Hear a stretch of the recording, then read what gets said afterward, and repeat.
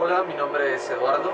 Yo creo, bueno, México ahora es limpio, es un país con orden, con justicia social y bueno, nuestro México es del futuro.